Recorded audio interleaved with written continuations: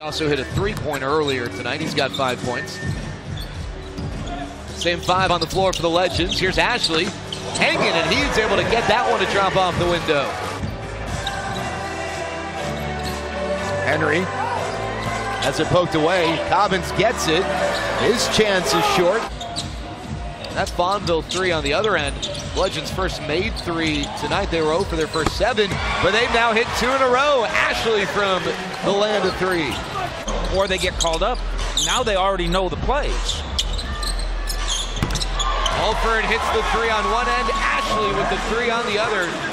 Planted a few minutes ago, growing into a tree right there. Motley steps back.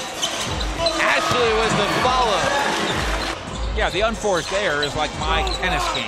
If all my serves just go into the net, you haven't done anything. You just get to stand there. You haven't forced me. In case you're wondering, he's not really near double figures in any other categories. That shot's converted. Fouls, because he could have a chance at 10 of those. Yeah. By the way, with this game being closed, talking about some of the rule changes. Denman guarded by Dozier. Motley with the screen. Ashley the three. How about that? Brandon Ashley.